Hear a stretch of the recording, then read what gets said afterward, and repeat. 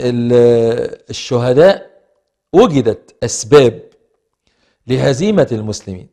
قبل يعني أن أتكلم عن مجريات المعركة فأدور حول الأسباب التي أدت إلى هذه الهزيمة الشديدة على المسلمين وعلى عبد الرحمن الغافقي. هناك أسباب. ذكرت في بداية كلامي أن هذه العصبية التي بدأت تظهر ما بين العرب والبربر فهذه العصبية كان عبد الرحمن كفكف هذه العصبية لكن لا شك أنها كانت تظهر أحيانا فوق السطح عند وجود خلافات أو وجود مشكلات فهذه العصبية كانت تظهر أحيانا بين الجنود لكن عبد الرحمن عليه رحمة الله كان يسارع بأن يقضي على هذه العصبيات. من ذلك وهو من أهم الأسباب لهزيمة المسلمين في هذه المعركة الكبرى مسألة مسألة الغنائم.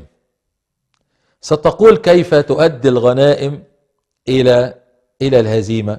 سنرى.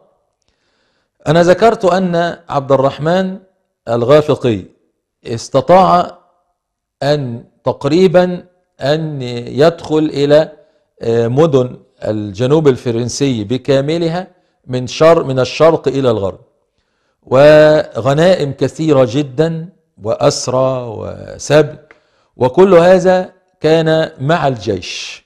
فكان خلف الجيش. ما هو أين سيرسلون هذه الغنائم؟ وهم من معركة إلى معركة إلى معركة. فكان هناك الغنائم خلف الجيش وعليها حراسات مخصصة لحراسة هذه الغنائم.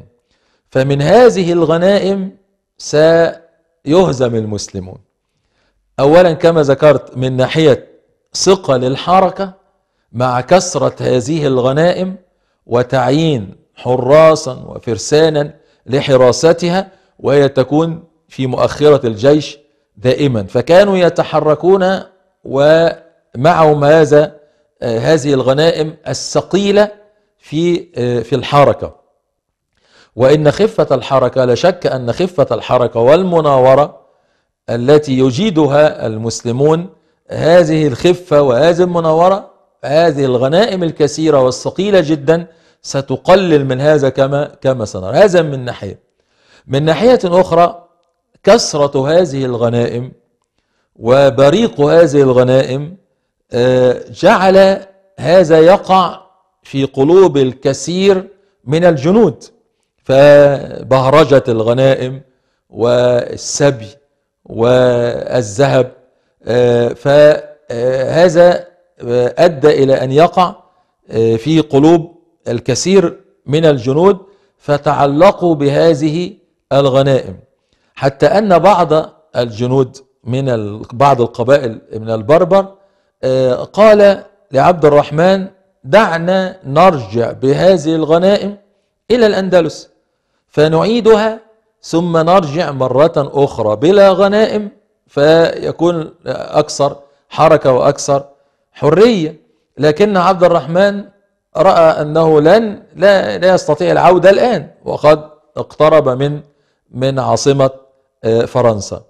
وسبحان الله تقول يا ليته استمع لمن قال ذلك وإن كانوا هم يريدون ذلك خوفا على الغنائم لكن لو أنه يعني استمع إليهم ورجع بهذه الغنائم أو أمر من يرجع بهذه الغنائم لا لما أتي المسلمون من ناحية الغنائم.